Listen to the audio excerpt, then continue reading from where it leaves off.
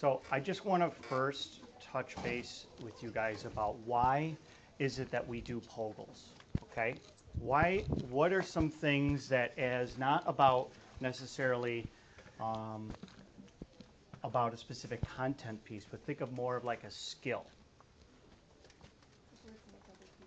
Okay, and what is some important skills that are needed for working with other people? Group communication. So communication, I, I'm gonna write that down. What else?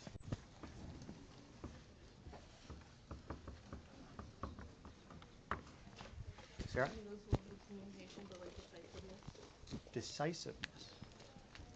I like it.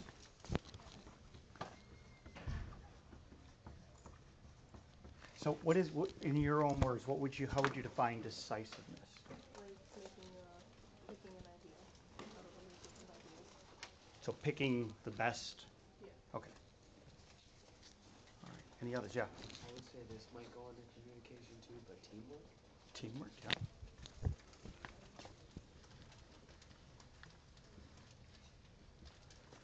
So think to yourself right now, what does good teamwork look like and what does bad teamwork look like? Okay, just think to yourself right now, not, not any hands, but just think to yourself. Picture like good teamwork, bad teamwork. If you take a moment and just share first what good teamwork looks like at your group, and then share what you picture bad teamwork looks like. Okay, 30 seconds, go.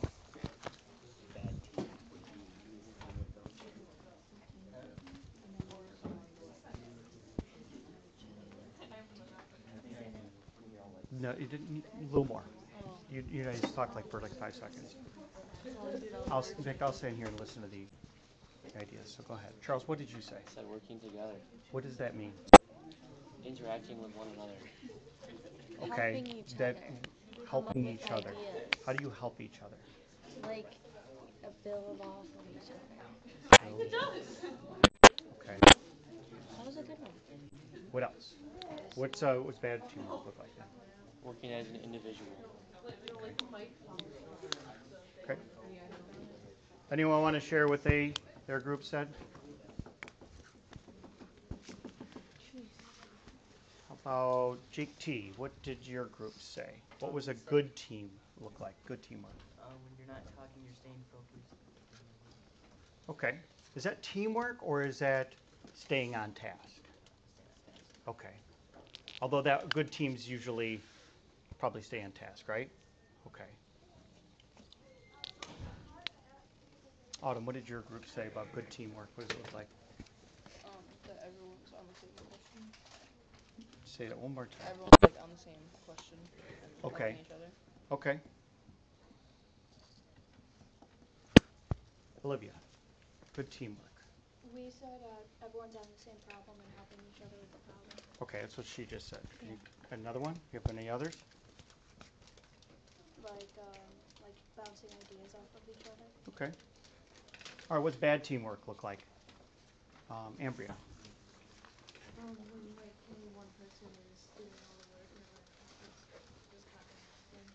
Coattails, right? Riding the coattails. Okay. You know what that means? You look at me confused.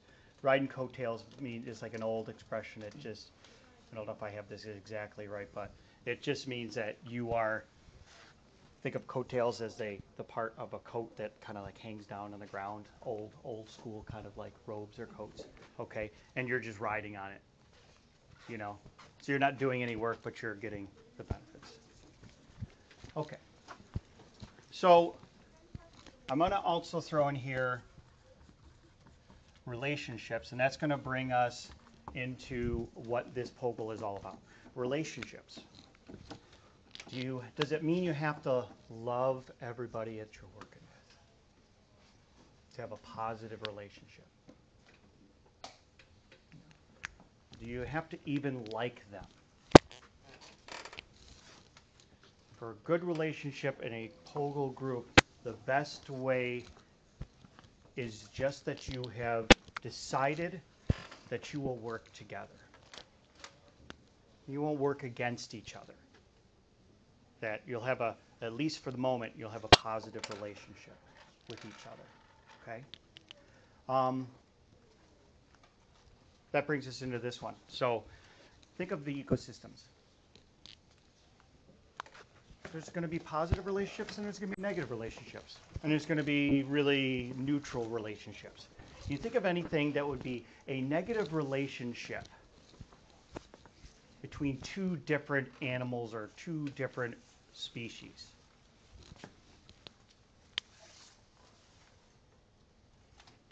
Maybe if you get like a situation with like a parasite and like one organism feeds off the other organism. Okay, so there's a negative one there, right? If you get a tapeworm, that's kind of negative for you. That's a parasite, right? Good for the tapeworm, bad for the for the for the host, right? What is similar to that, where one organism is benefited in a relationship and the other one is hurt? Predator versus prey. right? Obviously, you know, the gazelle is not benefiting in the relationship with a cheetah, right? Not a really good relationship for them. Great for the gaz- for the cheetah though. Okay? So there's going to be a situation where there's positive and negatives. Because you ever can you ever think of one that's a positive and a positive? Both are benefiting.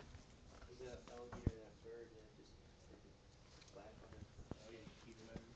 I forget what the bird's called too, but I know what you're talking about. Yeah, there's a there's an alligator species of alligator keeps its mouth open, and there's a species of bird that flies into its mouth, right, and picks out. How how is that good for the the alligator? Okay, so it gets his teeth clean. Those are the dentist, right? How is it good for the bird? It's getting food, partially digested food too, right? Not really too much. They don't have like the saliva that we do. But you get the idea. There's a positive and a negative relationship, okay? And there's a positive and positive relationship. You think of anything where there's a one species that's positive, and the other species like, yeah, I don't really care. Doesn't bother me. Positive and like a neutral. Think of any species that work together like that? Maybe something like a moss on a tree. trying to think. I think the moss would be hurting the tree in that case. But I get the idea that you're saying that it's just providing a place to live, right? Barnacles. What are barnacles? Yeah, they're on boats. Yep, find them on boats. Kind of like zebra mussel, but they're a little bit different. You know, they, they attach things. But barnacles and whales have the same kind of relationship. Okay, Here, anyone ever gone on a whale watch or a whale boating trip? You ever seen a whale up close? How many people have seen a whale a little bit closer than normal? Have you seen barnacles on them? Remember?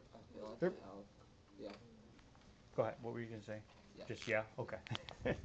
um, so it doesn't hurt the whale at all. But why is the barnacle given a boost?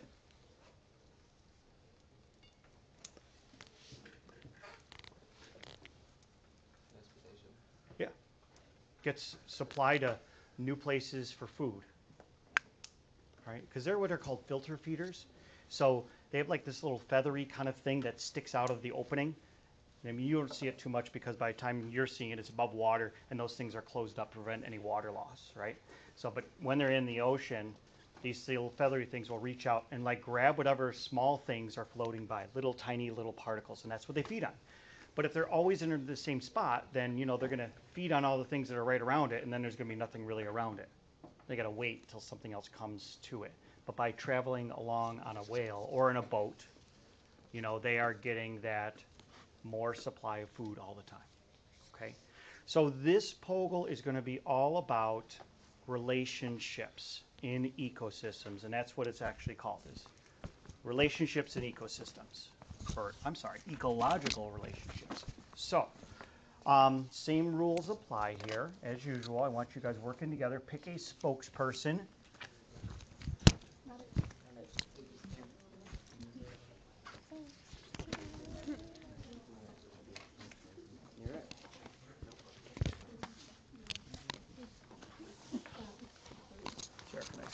Meet you there? Thank you.